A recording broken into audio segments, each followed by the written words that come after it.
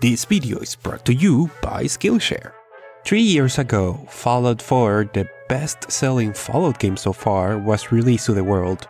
Originally, the game was planned to have some sort of multiplayer component, but they interestedly decided it was better to spin it off into its own game, and Fallout 76 was born. Using a modified version of the same engine that runs Fallout 4, that has been adapted for multiplayer, which came with an increase in minimum requirements and a just slightly controversial reception. But you know why you're here. What will it take to make it work under the minimum requirements? What sort of performance can you expect? Welcome to the Low Spec Gamer, where I labor to figure out what you can do after lowering all the settings to the lowest to keep going down the graphical spiral. No matter what, we're going to make it run. In the case of Fallout 76, the fact that the engine is reused means that a lot of what we have learned from Fallout 4 turns out to be very useful. For example, the configuration files are located in the documents folder shown on screen, and the most important is fallout 76 prefs.ini. Let's start with the shadows. So far I have not found a way to completely disable them, but if you set f shadow distance and f dir shadow distance equal to 0, and then set idir shadow splits to 1, you can reduce their draw distance as minimum as possible. A fun one is grass. There are three parameters in the grass section that control its draw distance, and if you set them all to zero, you get a very dramatic reduction in that pesky foliage to render. And talking about draw distance, this section right here controls the general draw distance of different elements in the game, with 1 being the lowest possible value. On the lowest settings, the game still preserves some of the draw distance of items, certain objects, and other players. You can drop them all to 1 if you are very desperate, but considering how big the areas in this game tend to be, this might make it very difficult to play or interact with other players. I have experimented with reducing the player draw distance to 4 and the object distance all the way to 2, and the result is still very playable, with good gains in performance.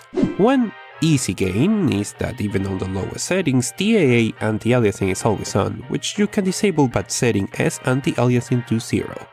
Something that cannot be so easily ignored is setting this set of terrain variables to 100, which reduces the quality of terrain in the distance and makes it somewhat blurry. It is a bit far off, so maybe you can live with that.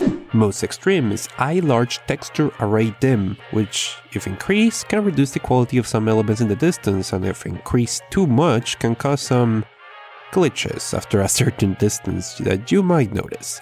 So how much can this all help? Let's find out. The Athlon 200GE, an APU with Vega integrated GPU has proven to be quite an interesting piece of hardware. While the modern architecture makes it punch way over its weight, its only two cores can be a limiting factor compared to really old quad cores in CPU heavy experiences like Overwatch, and its integrated GPU is amazing, but still weaker than something like a dedicated GT1030. Using all of these tweaks and a resolution of 720, I set out to see if I could handle this game during a stream here on YouTube that some of you might have caught. If not, maybe you should subscribe.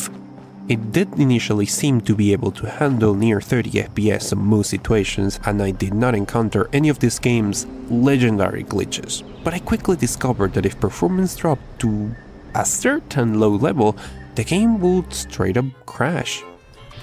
Gotcha. Come on. Whoa, the game crashed. I think the game just crashed. Whoa. Ah, uh, great job, Fallout. Suspect? Uh-oh, deadly force.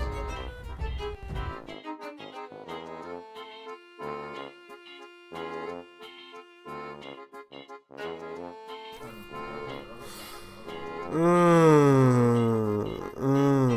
To overcome that, I took one last measure and dropped the resolution to 960 by 540.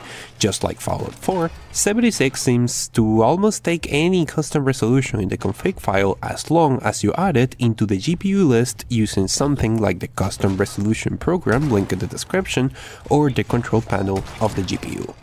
Once on that resolution, I was able to jump into some fights with no problem. I usually go for the extreme lowest here in the channel in order to prove a point, but I found it interesting to experiment with the draw distance values. while not on their absolute lowest, they're still lower than what the game usually does, and the game remains perfectly usable and playable without much trouble, or well, as playable as you can expect on something like this. Heck, while doing the stream, I accidentally ran into a group of players fighting waves of enemies for an event and I could easily participate without much issue. Finally, I wanted to add a small section for this Dell XPS PC. Well, it comes equipped with a laptop i7 that is very thermally limited and an integrated Intel UHD graphics, which is definitely weaker than what is needed to play most modern big releases, no matter what some people seem to believe.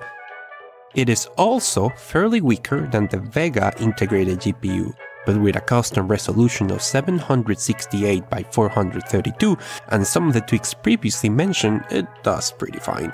At this point, any possible appreciation for the game graphics is out the window, but the basic gameplay loop works. Not every game is readable when you get to this level, but Fallout 4 is one of them, and Fallout 76 follows suit.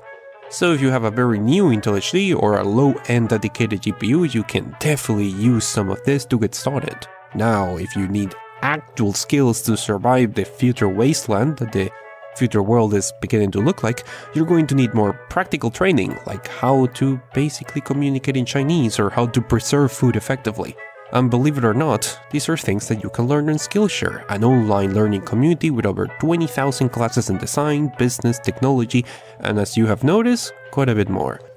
They have a great selection of free classes, but if you want the full skill set, the link in the description will give you 2 months of Skillshare Premium, which has every class available for free.